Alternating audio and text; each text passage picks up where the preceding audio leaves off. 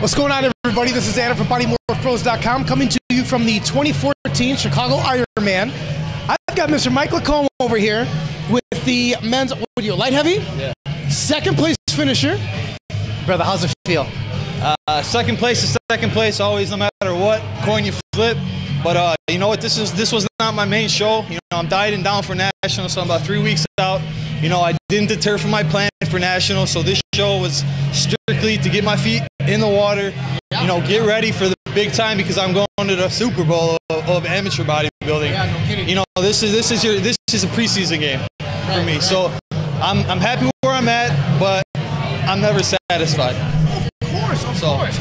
But even using it for that, and I mean, hey, everyone's got their motivations for doing particular shows, and you are doing the Big Daddy here in two weeks. Two weeks out, right? Three. weeks out. Three out, yeah. So you can't even you can't even get to where you need to be just yet. That wouldn't No, have been I a good move. I didn't want to because eh, you know you start taking out water and Yeah. carbs, and then you completely deter from from you know your plan, and that's exactly what I said I wasn't going to do. I didn't decide to do this show until about a week and a half ago, until I locked it in, and uh, you know I've been dieting for about nine weeks, you know, so I'm still three and a half weeks out, three weeks out, or whatever in nationals. So I mean I'm on track for where I need to be for my prep for my show. You know what I'm saying? So of course, do I want second place? No. Do I want first? Yeah, but you know what? You got to kind of look at the situation a little bit. So I'm happy. You know, not No, content. fantastic, fantastic. Where are you sitting weight wise now? Because when we saw you Ottawa, you were about what'd you say about two ten? Oh no no! What were you- no, what were you I was- I was- there? I was a light heavy, so I was under 190, uh, under 198. I weighed in last year about 190. This year No, no, no, like uh, just a couple weeks ago. Oh yeah. we were oh, talking. I, were am just thinking, a I'm little thinking over. when I competed. No, like, not sorry. competing. You got to be a little bit more straightforward when I have no, you know, limited food here. carbs right Right.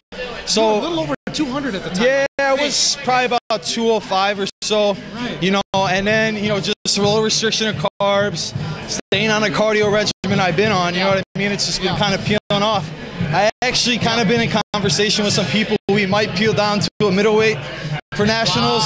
That's another nine pounds. So, you know, I think you could do it. yeah, you could do it. If we if we weigh in at 176 and a quarter by the skin of my teeth and fill up to say you know mid 180s on stage, something like that. Exactly. You look like a beast. Basically, look try to look like a, a light heavy on, as a middle. You know what I'm saying? With the same fullness, but just shredded. And I'm short, so you know.